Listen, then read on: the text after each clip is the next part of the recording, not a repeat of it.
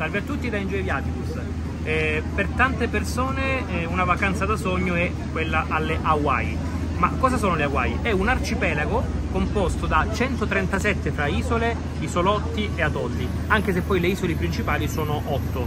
Tra quelle troviamo per esempio Oahu, ehm, eh, Molokai, le Big Island, solo per citarne alcune. Eh, ci si chiede spesso quanto tempo occorra per arrivare alle Hawaii. Ecco, in realtà eh, per visitare bene un'isola, magari anche dare un'occhiata a un'altra isola, eh, può bastare anche una settimana, magari non di più, se no poi si rischia di disperdere insomma, eh, il tempo. Però anche dedicarsi a una solo, sola isola, spesso si inizia da Oahu, dove c'è la capitale Honolulu, è un'ottima scelta. Eh, le Hawaii rappresentano eh, la terra più lontana da qualsiasi altra terra emersa, in mezzo all'Oceano Pacifico. Basti pensare che eh, per arrivare in California occorrono quasi 4.000 km, per Tokyo quasi 6.200 e altri 4.400 e un po' di più per arrivare in, ehm, in Polinesia francese a Tahiti.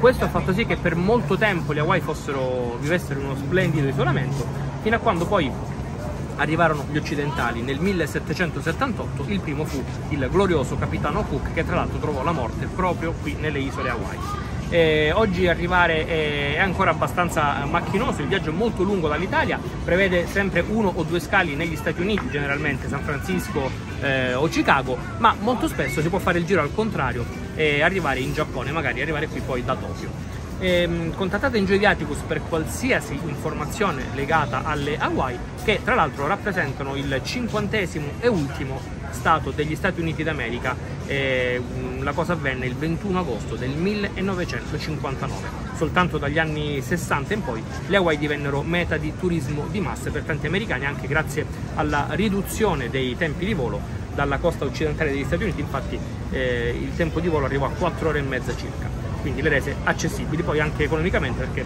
fiorirono hotel eh, a dismisura.